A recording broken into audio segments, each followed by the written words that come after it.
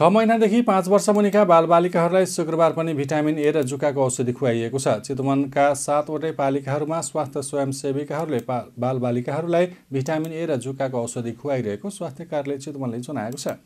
Vitamin A र जुकाको औषधि खुवाउने कार्यक्रम शुक्रबार सकिएको छ। स्वयंसेविकाहरूले बिहिबार पनि बालबालिकाहरूलाई औषधि खुवाएका थिए। कार्तिक र वैशाखमा गरी वर्षको दुई चरणमा छ महिनादेखि पाँच वर्ष मुनिका बालबालिकाहरूलाई भिटामिन ए र जुकाको औषधि खुवाउने वार्षिक कार्यक्रम छ। यस वर्ष कोभिड उन्नाइसका कारण वैशाखमा हुने कार्यक्रम पछाडि धकेलिएर असारमा पुगेको थियो। कार्तिकमै हुनुपर्ने दोस्रो चरणको कार्यक्रम केही पछाडि धकेलिएर बिहिबार र शुक्रबार भएको स्वास्थ्य कार्यालय चितवनका प्रमुख दीपक तिवारीले बताउनुभयो।